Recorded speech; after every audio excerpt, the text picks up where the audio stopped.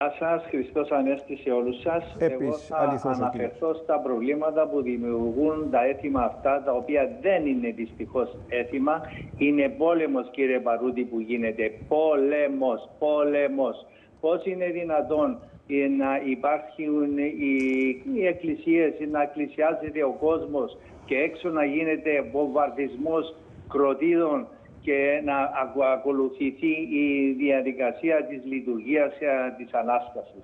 Γίνεται πόλεμος κύριε ε, Παρούτη ε, και διερωτούμε τις ευθύνες που μπορεί να έχουν οι εκκλησιαστικές αρχές. Δεύτερο πρόβλημα είναι από χρόνο σε χρόνο πάμε χειρότερα. ο κόσμος, και εγώ είμαι ένας από αυτούς, αντί να πάμε στην Εκκλησία για την Ανάσταση του, του Χριστού και του να προσευχηθούμε, καθόμαστε σκοπιές κύριε Παρούτη για να προσέχουμε τις περιουσίες μας, τα σπίτια μας. Πέρσι έβαλα φωτιές ε, μόλις λιδώσε το σπίτι μου.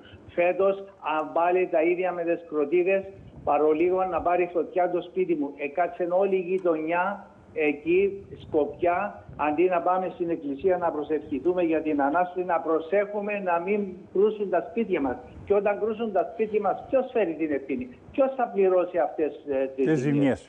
Και το χειρότερο που εύχομαι να μην συμβεί, αλλά θα το αναφέρω, διότι ήδη είδα σημεία φέτος, μιμούμαστε τα εξελάδος έθιμα που γίνεται πόλεμος ομάδων όπως γίνεται στοιχείων δύο ομάδες πυροβολά η μία την άλλη και αυτές οι μπομπάρτες, πώς να τις πω, ναι. ξεφεύγουν και πάνε στις ε, γύρω περιοχές και κινδυνεύουν τα σπίτια. Από χρόνο σε χρόνο θα είμαστε χειρότερα και θέλω να αναφερθώ και στην απουσία της αστυνομίας στο Στρόβολ.